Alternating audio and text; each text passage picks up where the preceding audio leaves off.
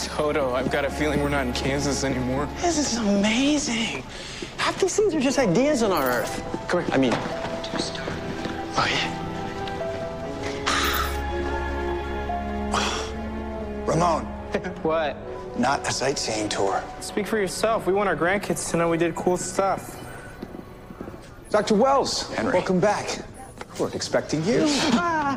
Yes, I didn't tell anyone I was coming back. I thought you might have left town with all that's been happening. right. Are your friends okay? Yes, they're they're fine. They're excitable. This is um, Henry Hewitt, lab assistant. Pleased to make your acquaintance. And you, um, Sid Barry. This is Cisco. I'm Cisco, and you are just a nice, normal guy. okay. Um, Dr. Wells, will you and your visitors be needing the conference room? not necessary, Henry. Our visit will be short. Good to see you. Good to see you, sir. He's a bad guy on Earth One. He looks just like him.